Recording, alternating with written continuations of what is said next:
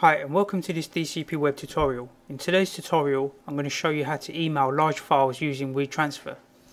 So I'm going to open up my internet browser and we're going to go to WeTransfer.com and it's asking me a few options here whether I want to have a paid account or a free account. We're going to use the free account. You can send up to 2 gig so let's go to the free account.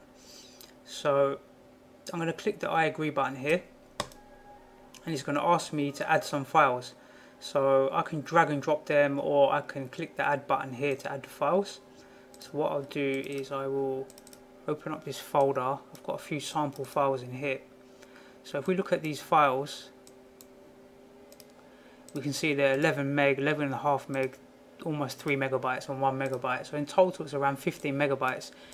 And normally I wouldn't send this much data in an email because it's quite cumbersome to send it and then to receive it on the other end. So if we use WeTransfer it's a quicker solution to get the data across. I'm just going to drag and drop the files here. And it's going to ask me for the email address. So I'll put in my email here. And I'll put my other email address in here as a sample. So I'm going to send it to myself. But you'd put your email address in here and you would put uh, the recipient's email address in here. And then a message here you could say something like uh, please download example files and then click the transfer button. It's going to take a bit of time for it to upload the files but you can see it's pretty quick. It's got to upload around 15 megabytes.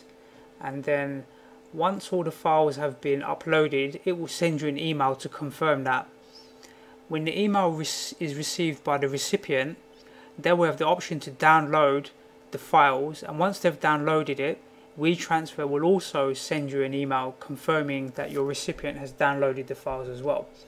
So the files will be available for seven days. You need to take note of that. So if you send something, uh, you must make sure the recipient opens up the email and downloads the files within seven days, otherwise they get deleted. So that's how you transfer larger files. Normally I'm transferring things around 100 megabytes or more. If it's something small I can just send it as an attachment in an email. But anything over you know 15 20 megabytes normally I'll use WeTransfer. So I hope you find that tutorial useful and I look forward to seeing you on the next DCP web tutorial.